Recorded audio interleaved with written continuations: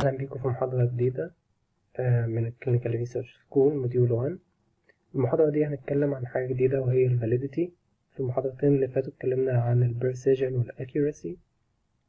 النهاردة هنتكلم عن ال validity ال validity هي حاجة ليها علاقة شوية بال accuracy وليها علاقة بإن الحاجة اللي أنا بستخدمها عشان أقيس phenomena معينة هل الحاجة دي بتمثل الحاجة اللي أنا بقيسها فعلا ولا لأ؟ إزاي؟ لو أنا مثلا عاوز أقيس ال kidney function في research معين عاوز أقيس ال kidney function فقررت إن أنا أستخدم الكرياتينين. طبعا الكرياتينين بيتأثر بال muscle يعني كمية ال muscle bulk بتطلع كمية كرياتينين عالية.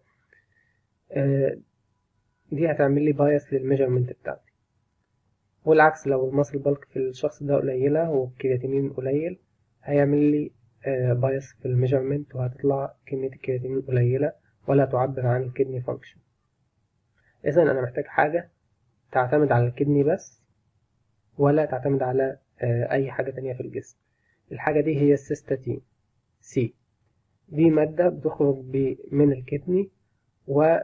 وما بتتأثرش بأي حاجة تانية في الجسم. إذا إن أنا أستخدم ال cystatin C ك measurement of kidney function is more valid than using creatinine يبقى إذا validity هي بتتكلم عن ال research instrument أو الحاجة اللي أنا هستخدمها في قياس ظاهرة معينة هل الحاجة دي بتمثل الظاهرة دي بس ولا can be affected by other uh, things in the body by other systems لو هي affected by other systems يبقى ال measurement بتاعتي دي مش valid أوي لكن لو هي بتمثل الظاهرة اللي أنا بقيسها فقط ومش affected بأي حاجة تانية يبقى إذا this is a valid measurement إذا cystatin C is a valid measurement for kidney function. ال validity بتهمني في ال qualitative research أكتر اللي هو بيعتمد على بيعتمد على حاجات ما بتتقاس زي مثلا إن أنا أعمل questionnaire علشان أشوف quality of life in cancer patients مثلا مثلا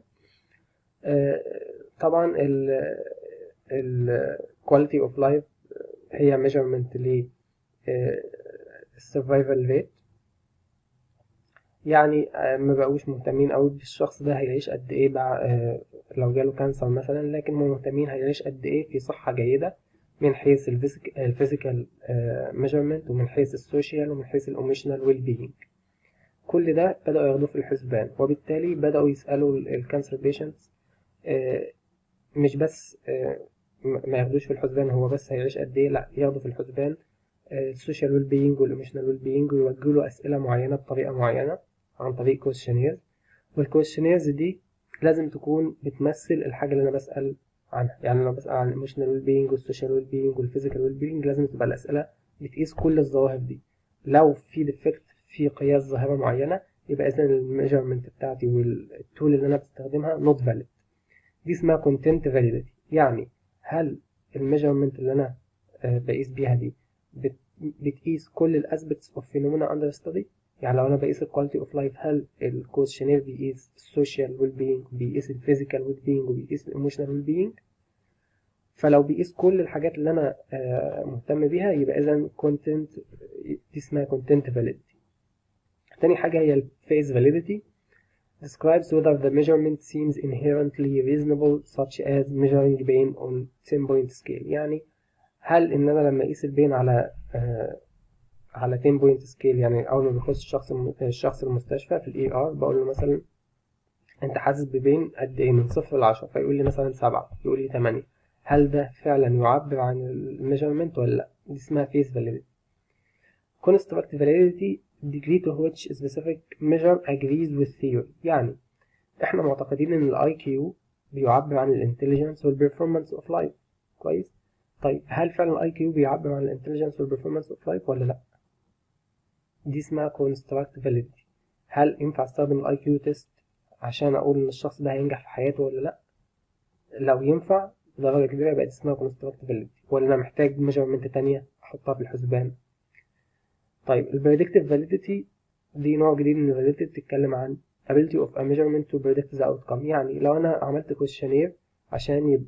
لل depression ولقيت إن في ناس جالها آه في ال questionnaire دي معظم الناس مثلا عندها depression الناس دي lost their jobs خسروا ال job بتاعتهم في خلال ست شهور. اذا ال tool بتاعتي فعلا بتقدر تقيس ال depression لأن الناس دي ال outcome اللي هو job loss حصل. طيب لو فرضنا إن ال measurement ال tool بتاعتي قالت إن الناس دي كلها عندها depression ومفيش حد منهم lost his jobs والناس كلها عايشة كويس وال jobs بتاعتهم prosperous وكلهم حياتهم كويسة يبقى اذا ال tool بتاعتي دي فشلت إنها تتنبأ بتبعات ال depression اللي هو job loss مثلا إن هو يحصل مشاكل في الأسرة وهكذا.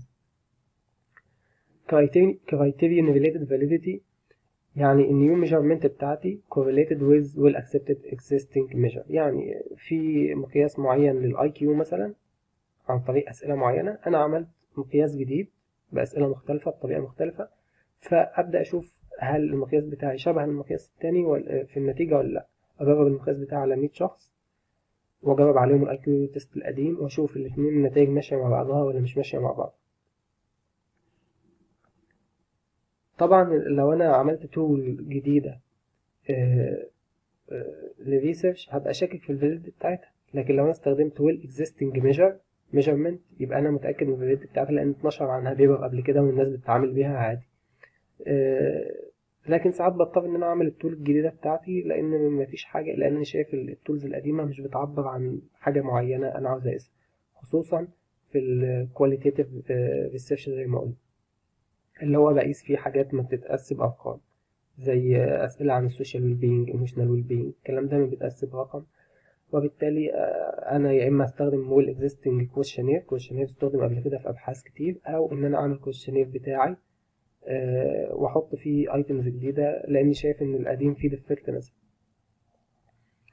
طيب دلوقتي برضو في حاجة مهمة في ال measurements وهي ال sensitivity وال specificity إحنا اتكلمنا عن ال accuracy وال precision وال validity دلوقتي هنتكلم عن ال sensitivity وال specificity دي مهمة جدا في حاجتين. لو أنا عملت test جديد وعاوز أشوفه هل ال test ده good ولا bad هل ال test ده ينفع أستخدمه في ال clinical practice ولا لأ؟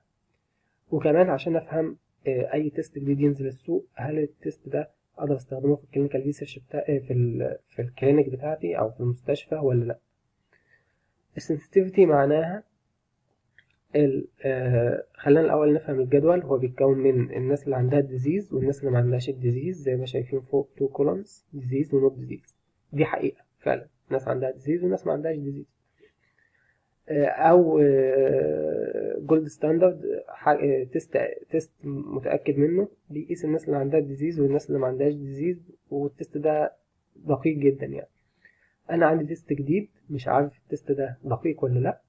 فال test ده جربته في ناس طلعت positive وفي ناس طلعت negative ال test الجديد بتاعي الناس اللي طلعت positive وفي نفس الوقت هي عندها ال disease يبقى الناس دي true positive لأن الناس دي طلعوا positive بال test بتاعي. وفي نفس الوقت هم عندهم ال disease اذا ال positive دي حقيقية true positive طيب لو لو افترضنا إن أنا عملت ال test بتاعي وطلعوا من الناس دي positive بس في نفس الوقت أنا عارف إن ما عندهمش disease يبقى ده false positive طيب لو الناس دي طلعت negative وهي عندها ال disease يبقى false negative ال test قال إن هم negative بس ده مش حقيقي ده هم عندهم المرض يبقى false negative طيب أنا عملت ال test والناس دي طلعت negative بالاختبار بتاعي وفي نفس الوقت هم ما عندهمش المرض يبقى ده true negative يبقى ده حقيقي negative حقيقي. اذا يبقى أنا عندي أربع أقسام لل في الجدول بتاعي true positive false positive false negative true negative لو أنا عاوز أحدد ال sensitivity هقسم ال true positive على ال true positive زائد ال false negative يعني العمود ده.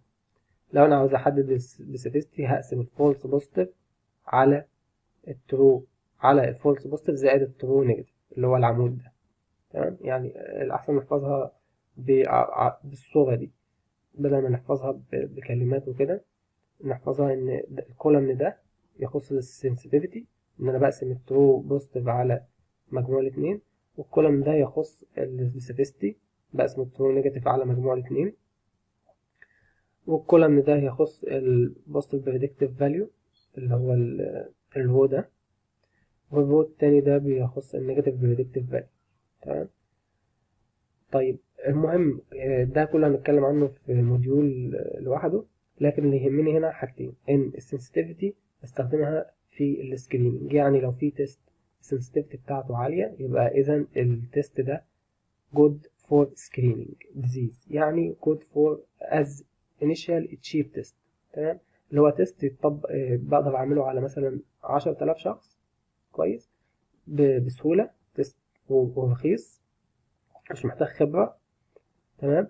هيطلع لي مثلا مية شخص عندهم positive مية شخص هيطلعوا positive بس المية دول هبدأ أعمل لهم ال specific test اللي هو ال test الغالي اللي بيحتاج خبرة وهكذا.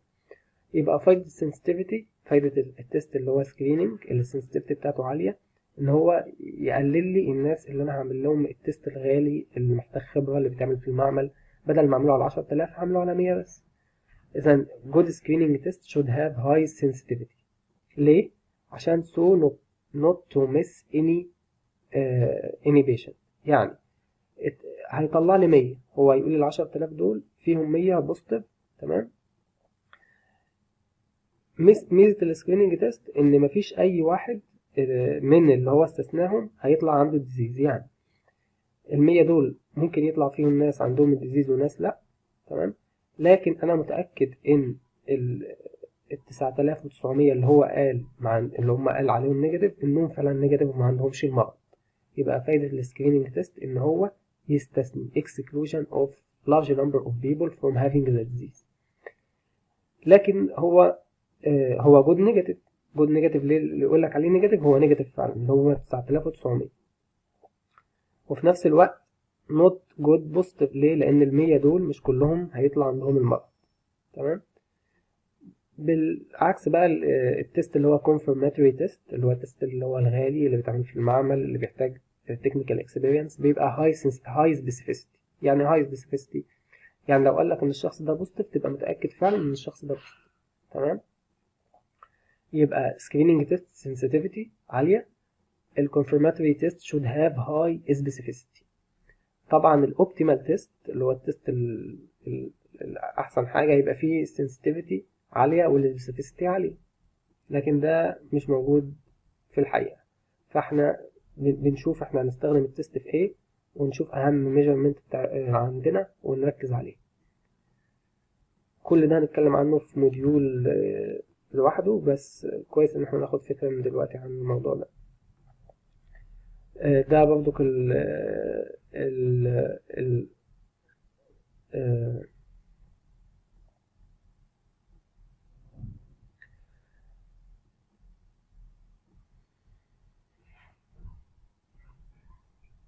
ده عبارة عن curve ما بين ال true positive اللي هي sensitivity وال false positive rate اللي هو مية ناقص ال specificity وببدأ أرسم النقط بتاعتي بيطلع معايا ال curve ده.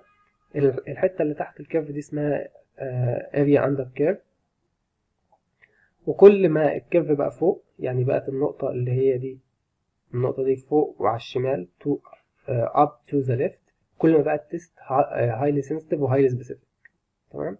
يعني كل ما ال curve طلع لفوق وعلى الشمال من ناحية الشمال إذا بقى ال test highly sensitive و highly specific. آه وده ال ROC curve analysis هنتكلم عنه بالتفصيل بعد كده إن شاء الله.